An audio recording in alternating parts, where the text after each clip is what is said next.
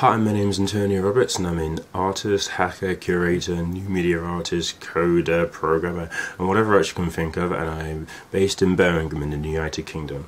Today I'm just going to give a very short presentation about my artwork, the processes involved and how it kind of came to be where it is today. So, having finished my studies at Tufts University in multimedia graphics in 2007, I came back to Birmingham thinking to myself, where are all the creative coders? Um, where are the people who mix sort of art and technology? Do they gather in one big space or are they all haphazardly spread around the West Midlands? Um, so rather than wait for some wait around for someone to do this, in 2009 I started the FizzPop Hackerspace with artist Nikki Pugh. Um, a hackerspace is like an open garage with lots of tools where anyone with an interest in creative coding um, or programming in general can just learn and collaborate with others. The projects range from usual circuit bending to just software hacking. Um, and over the two years that I ran it, it was largely successful. We had uh, visits from lots of famous um, scientists, including Mitch Altman, and got lots of support from local art groups, including Vivid, Friction Arts, and Hello Digital. And I guess really the thing that I like about hackerspaces and FizzPop is when this kind of things happens. At the moment where through lots of dedication and hacking, a light switches on both on the circuit board and someone's brain. Now to this, this is a very, to most people this is a very trivial task, but to those who maybe not even know how to program their microwave, let alone a circuit board, this is a truly inspiring moment and it was for me too. Um, having lots of people to bounce around ideas off uh, brought me to a point where I was questioning the things around me. How do they work? Why do they work in this way? And how can I uh, change them to work in a different way? So through the suggestion of a friend, um, I was introduced to glitch art, which I feel combines this love of hacking and taking things apart, as well as visual art on screens. Now, glitch art is the turning of errors into art. There's no doubt in using your time through your time using computers you encountered something like this and you've usually tried to fix it or um, discard it and try again and make it work. Um, the glitch artist likes to seek those errors out and make it into art. For me, glitch art is really about deconstructing everything and figuring out how computers work. Now computers are quite stupid. Um, you tell them to do something and they will do it, no matter what um, that command is. Um, and computers don't really can't really tell one type of data away from another. So, for example, in this, you can tell a program that the audio data is actually a piece of image data, and you can import it into a piece of software and display an audio file as an image. Now, I'm not alone in my quest to find glitches and present them as errors. In 2010, the Glitch Arts Festival in Chicago became one of the first to focus purely on art created through errors.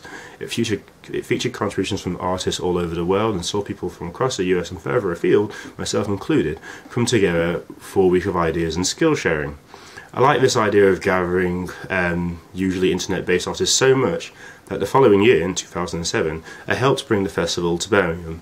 In 2011, with the support of Arts Council England, Birmingham City University, Vivid and FizzPop, Glitch came to Birmingham. Like the previous festival, it had a week of, oh sorry, a day of workshops, presentations, film screenings and performances.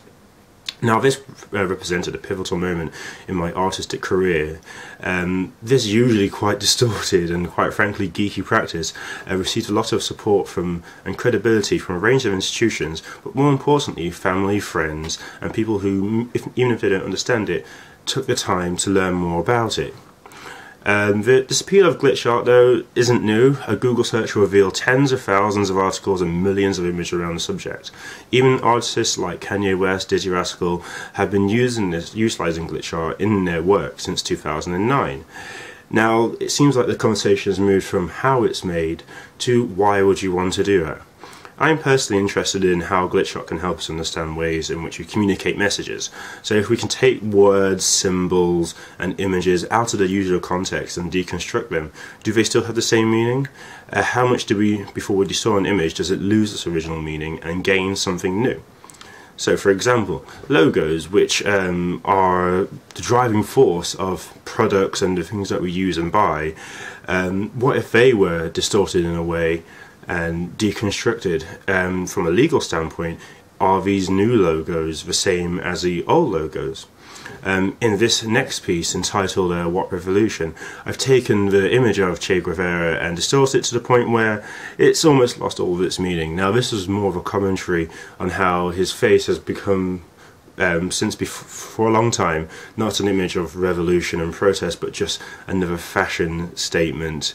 Um, my upcoming project, uh, Comic Sans Must Die, is a tongue-in-cheek look at how the most hated, uh, the most hated font in the world, Comic Sans, at what does it point does it stop being Comic Sans when it's deconstructed? By doing so, by doing this deconstruction, do we reveal some sort of hidden design element? Is it more valid as a piece of animated um, design rather than it is font? Now, these are only a handful of the projects that I've done in my time, uh, but hopefully they some, reveal to some of you something about my process and the ways in which I like lurk, working and how it's brought me to be in front of you today. Um, but I guess one theme amongst all of my artwork is that of collaboration. Now, it kind of, sounds kind of cheesy, but knowledge is indeed power, but I think it's more powerful when it's shared.